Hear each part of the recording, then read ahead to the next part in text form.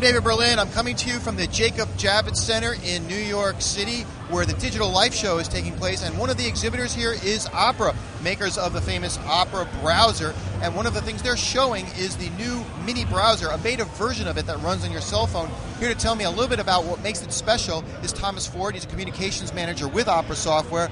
So, without further ado, let's just dive right into a demonstration and what makes this really special. Absolutely. In the new Opera, what we've added, the new Opera Mini, we've added a PC view mode. It lays out just like you'd expect the uh, page to layout in a PC browser, and then you can dive in with Mini. We have a mouse, you can move around the page, you can move from side to side, everywhere. And I think actually it gives just a better experience for people. You understand the page on your desktop, now you can use it on your mobile the same way. Now we've seen how the browser and iPhone works, and that's really a stellar experience. You know, you move your finger around, and it looks just like the web page you see on your desktop. Are you guys trying to follow in in uh, Apple's shoes there and do something similar that works on all cell phones, or well, what's the inspiration for this new design? Right. Well, actually, the inspiration was our work with Nintendo for the Nintendo Wii. We have a very similar zoom there.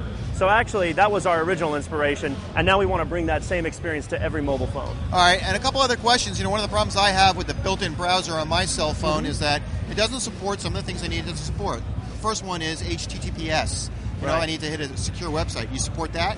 We support a very special type of security, but it is a secure connection. It is not necessarily HTTPS, but it is a specialized version of that. So you will have secure encrypted transfer. What happens when I go to a site that is built on HTTPS-based pages? Will it work? You will. It will work. You will notice a padlock at the very top of Opera Mini that will tell you you're secure and safe. Okay. What about uh, PDF? I go to a site. I need to see a PDF file. Can I see those?